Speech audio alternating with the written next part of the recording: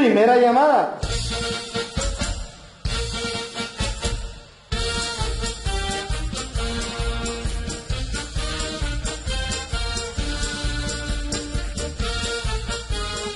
Segunda llamada, tercera llamada y comenzamos.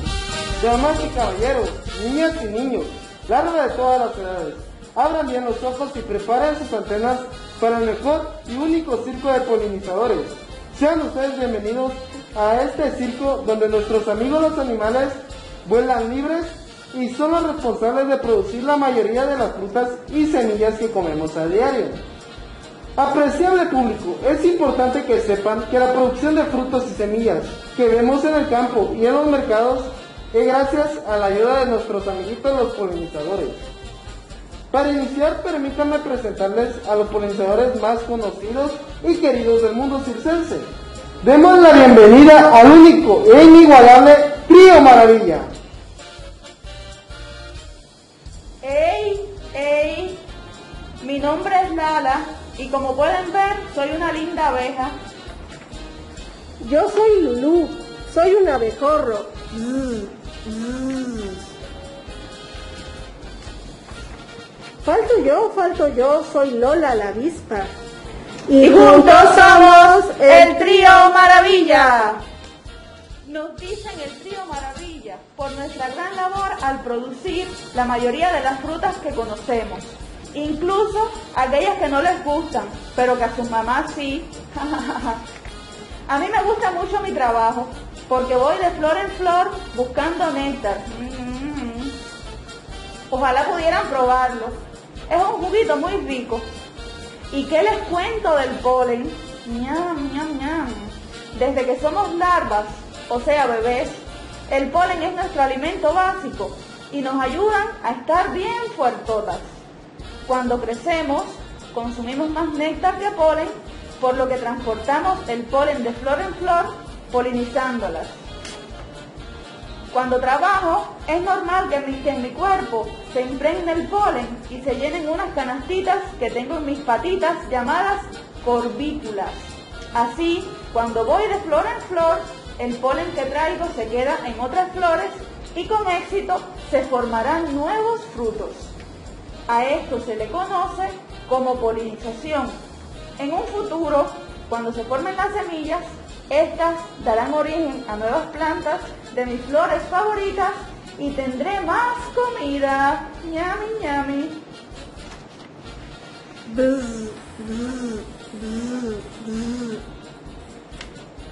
Yo soy Lulú la abejorra, integrante de las fuerzas especiales de los bombarderos al servicio de la polinización. Al igual que Lala, me alimento de néctar y recolecto polen.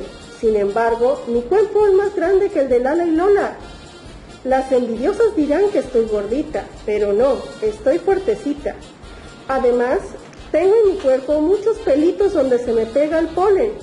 También aguanto más el frío a diferencia de mis comadres. Tal vez se pregunten por qué vibro mucho. Verán, el tipo de polinización que llevo a cabo se llama polinización por vibración. Y es que a veces está difícil obtener el polen de algunas flores, por lo que debo aferrarme bien fuerte a la flor y mover rápidamente mis músculos para el vuelo. Y así produzco un zumbido mientras obtengo rico polen. Mis flores favoritas son las de tomate. Sí, con el que hacen las ricas salsitas para sus tacos. Sí, sí. Falto yo. Mi nombre es Lola y soy una avispa. Un dicho popular dice, Dios creó a la abeja, pero el demonio hizo a la avispa. Eso no es verdad.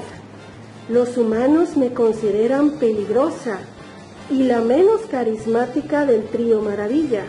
Sin embargo, también soy polinizadora y depredadora de algunos insectos plaga, es decir, me alimento de todo aquel insecto que represente un problema para los cultivos. Yo soy una avispa de los higos. ¿Les gustan los higos? ¿Sabían que los higos son muchas florecitas? El higo es mi fruta favorita. Bueno, bueno, algunos de mis amigos científicos ya se dieron cuenta de que me gusta entrar a los higos y poner mis huevos en algunas de las futuras semillas. Mis hijas, una vez nazcan y crezcan, se encargarán de transportar el polen a otra planta. Sin mí y mis hijas no podrías comer higos. Nosotras somos el trío Maravilla. el trío Maravilla. Despidamos con un, un gran aplauso al trío Maravilla. Maravilloso acto de malabares, chicas. Ahora, damas y caballeros, bueno, digo, digo, caballeros, niños y niñas, antes del siguiente acto deben poner mucha atención a la siguiente adivinanza para saber a quién recibiremos en el escenario. ¿Están listos?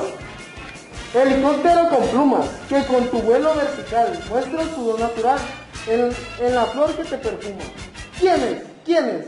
Recibamos con una calurosa bienvenida a las alas más brillantes y rápidas del mundo de las aves. ¡Es colibrí! Wow, el día de hoy tenemos un gran público. En realidad, no estoy tan seguro de que el néctar que traje sea suficiente para todos. ¿A ustedes les gusta el néctar? A mí me encanta muchísimo. Además, me permite obtener las calorías suficientes para poder volar y ayudar en la polinización. El néctar es lo que más me encanta en el mundo. Mi lengua es tan larga que me permite succionar el néctar de las flores. Puedo visitar entre 500 a 3000 flores por día.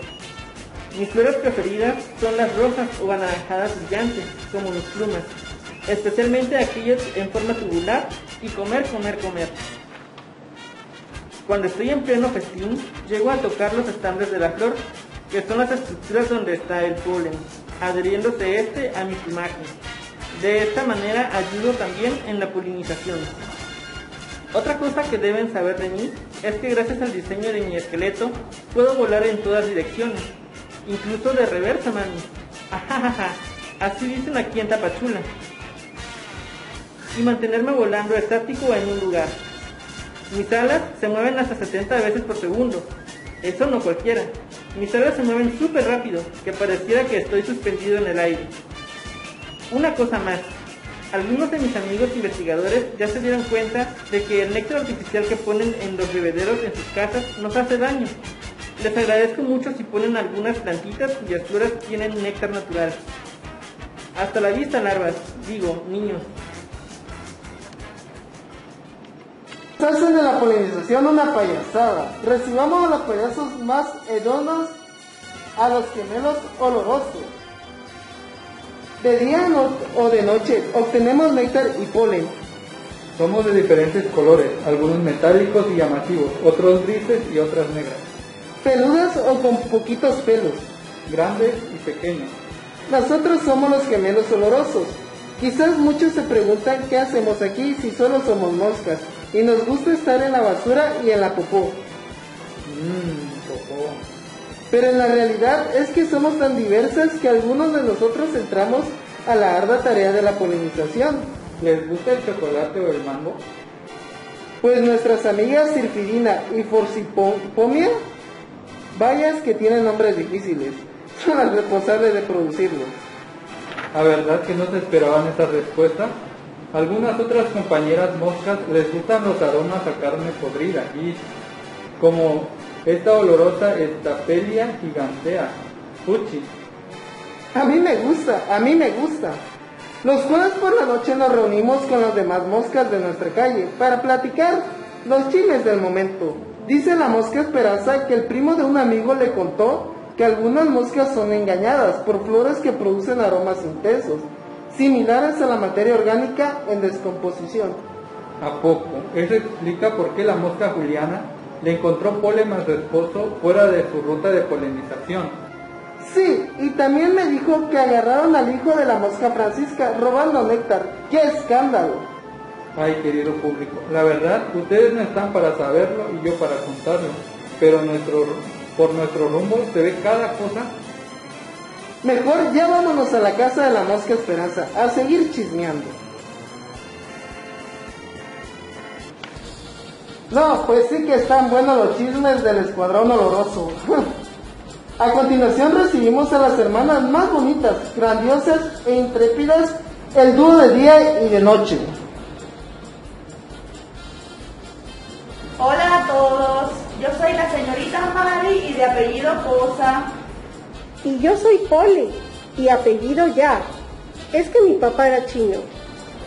Juntas conformamos uno de los grupos más bellos de insectos, como, conocido como el con el nombre de lepidópteros, que significa alas con escamas. Las mariposas nos distinguimos por poseer muchas y variadas combinaciones de colores. Volamos durante el día, nuestro cuerpo es esbelto y nuestras antenas son sencillas. En cambio, nosotras las polillas somos de colores menos llamativos y volamos durante la noche. Tenemos el cuerpo rechoncho y nuestras antenas pueden parecer cepillos. Ambas amamos saborear el néctar y el polen de las flores. Pero a diferencia de Poli, yo salgo a polinizar durante el día. Cuando visitamos las flores, extraemos el rico néctar con nuestras largas lenguas llamadas espiritrompa y transportamos el polen a otra planta, proporcionando así, propiciando así la polinización. Me pone muy triste contarles que aunque nuestra labor es muy importante, estamos comenzando a desaparecer. Los pesticidas nos están matando, están destruyendo nuestras casas y alimento. La introducción de especies exóticas compiten con nosotros por el alimento, nos enferman nos estamos muriendo de calor con el cambio climático. No solo nosotras, sino también nuestros amigos polinizadores. Amiguitos, una manera de ayudarnos es evitando el uso de productos químicos que nos envenenen, sembrando muchas plantas con flores en nuestro jardín y cuidando nuestros nidos. Estos consejos le damos porque sus amigas, el dúo de día y noche, somos. Ahora, querido público, para cerrar con broche de oro, con una aparición especial, tenemos un superhéroe entre nosotros. Adivinamos su nombre a través de la siguiente adivinanza. Es un animal y su nombre lleva todas las vocales. ¿Quién es? Aquí una pista. Buenas tardes a todos. Yo soy el murciélago Tito. Lamento la tardanza, pero a esta hora acostumbro estar dormido. Veo alguno que otro con el ojo cuadrado. ¿Qué pasó, amiguitos? ¿No sabían acaso que yo también soy un polinizador? Y por cierto, uno muy importante. Hace muchos años, sus antepasados, los humanos, nos querían y valoraban, porque se dieron cuenta de nuestra importancia como polinizadores. Por las noches nos miraban cómo nos alimentábamos de las flores más bellas y se dieron cuenta que si nos protegían, a cambio tendrían muchos tipos de frutas y bebidas que actualmente nuestros papás consumen, como el mezcal y el tequila. Ish. Nosotros los murciélagos nos gusta trabajar durante la noche y eso se debe a que no tenemos una buena vista, pero sí tenemos un buen oído. Así que usamos frecuencias producidas por nuestros chillidos que como ondas sonoras rebotan en las cosas y nos permiten ubicarnos. Al contrario que mis amigas las abejas, que prefieren flores de colores llamativos, a nosotros los murciélagos nos gustan los colores más claros. Los que no me conocen me preguntan mucho, ¿cómo le hago para obtener el néctar de las flores si no tengo un pico? Bueno, pues tengo una lengua tan larga que me permite chupar todo el néctar que quiera, aunque a veces debo meterme casi a toda la flor para poder comer bien. Es entonces cuando se me pega el polen que dejo en otras plantas, facilitando así la polinización. Los tiempos han cambiado. Extrañamos a sus antepasados los humanos, porque ellos sí nos cuidaban. Ahora nos tienen miedo y nos llaman feos. Y con lo del COVID ya ni les cuento. Nuestras poblaciones están disminuyendo. Como superhéroe, les voy a dar un consejo, amiguitos. Ayúdanos a seguir contribuyendo a la polinización. Sin nosotros, no podrías comer muchas frutas y semillas. Las plantas no se reproducirían y los humanos podrían desaparecer junto con nosotros para siempre. Por eso, entre todos, cuidemos a los polinizadores.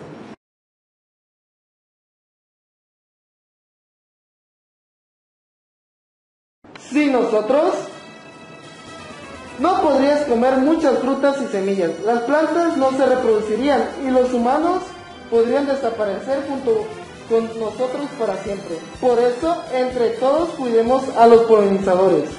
Despidamos con un fuerte aplauso a nuestros amigos los polinizadores. Y recuerden, amiguitos, seguir los consejos que nos han dado. Y la próxima vez que veas un polinizador, dale las gracias por todo lo que hacen por nosotros.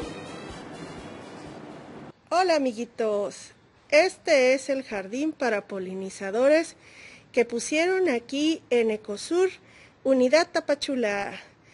Hay muchas flores muy bonitas, de aromas muy ricos, pero sobre todo muy sabrosas. Saben, muy ricas. Por ejemplo, esta florecita se llama Simia peruviana. Es la preferida de mi comadre Mari. Hola Mari. Además de florecitas, también tienen un hotel donde se pueden hospedar algunos polinizadores. Este hotel se especializa en hospedar abejas solitarias. Así que ya saben, amiguitos, pongan en sus jardines plantitas con flores para que podamos ir a visitarlos. Hasta luego.